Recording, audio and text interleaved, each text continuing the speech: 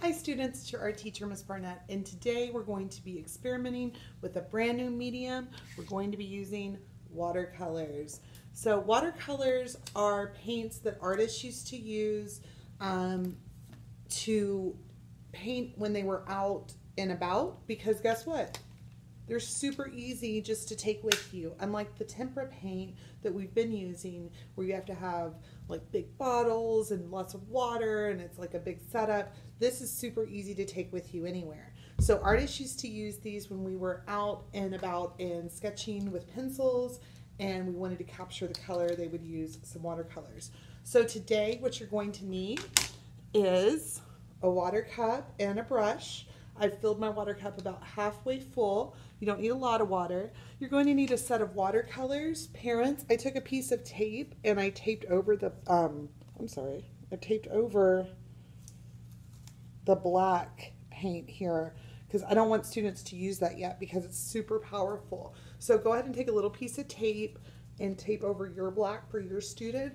Um, the paper that we're going to use today, I've cut this paper down. This is four inches by six inches. Um, the other thing that works really well are index cards. So if you don't have paper at home, go out and get you some uh, bigger index cards. I just have smaller ones in my desk, but they work great. They're nice and thick. If you don't even have the big ones, you can use the small ones too, no problem. You're also going to want a sponge, a slightly wet sponge or damp sponge to wet our paper really quickly and I'll show you how to do that in just a minute. So if when you get all your materials together, come back to the video and we'll get started. All right, families at home, I have my setup here. You might want to, if you're working at home, put newspaper down under your paper um, just to keep it a little bit neater. I've also come along and I've taped down part of my paper to the surface that I'm painting on. Next thing I'm going to do, I'm going to use my art sponge here. You can use any sponge. If it's a kitchen sponge, you want to use a clean sponge, and I would cut it into like 25% or a quarter. So I'm just going to wet my sponge. You want to do this with clean water. So there, my sponge is wet. I'm going to come along and I'm going to go over my paper until it's shiny. There, that's good. Nice and shiny. Then I'm going to take my brush, swish, swish, wipe off the extra water, and then I'm going to tickle my paint with my brush. So I'm going to tickle him just like that. And then I'm going to hold my brush so he's dancing like a ballerina because watercolor brushes like to dance on their tippy toes.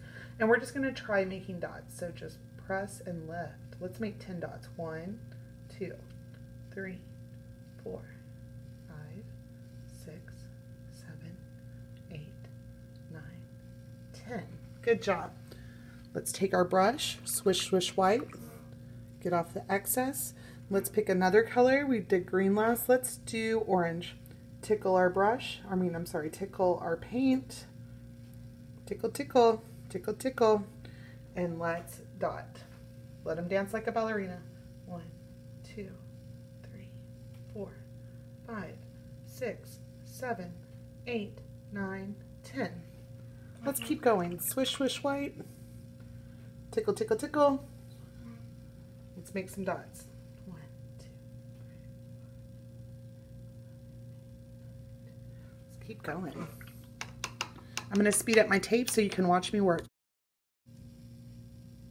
All right, friends, I filled up my first paper with 10 dots across of one, two, three, four, five colors. Let's see, we did green, orange, blue, pink, or I'm sorry, purple, and yellow.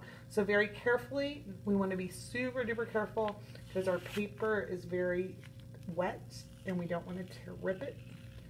And we're going to put that experiment to the side and we're going to get another piece of paper. We're going to place that down. We're going to tape him down just like we did the first time. And again, we're going to use our damp sponge and wet the, oops, that's why we got to be careful. And we're going to wet the paper until it's shiny. Good. We're shiny, we're ready to go. Let's try doing some dabs.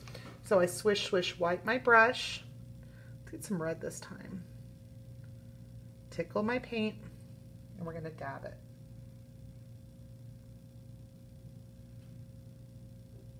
Good.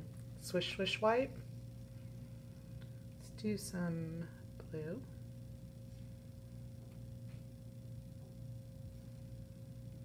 Swish, swish, wipe.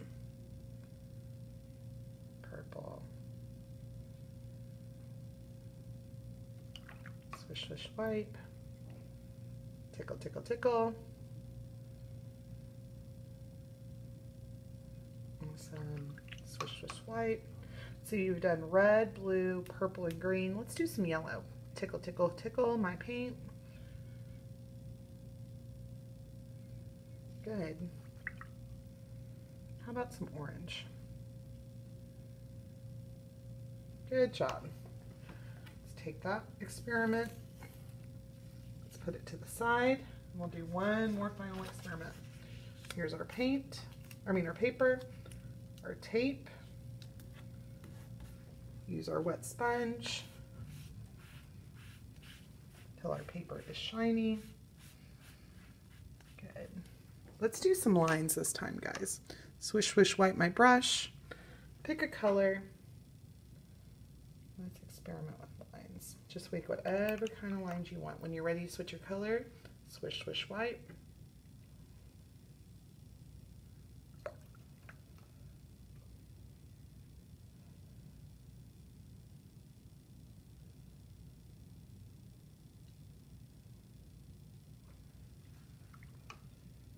So pretty.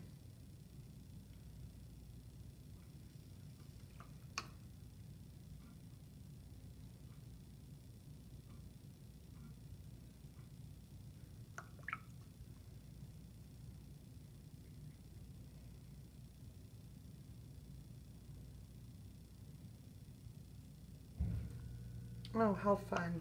So guys, I hope you had lots of fun with your experiments today. Take your time, if you want to cut some more paper and do some more experiments, go for it. The only limitation is your imagination. And I will talk to you guys next time. Bye, friends.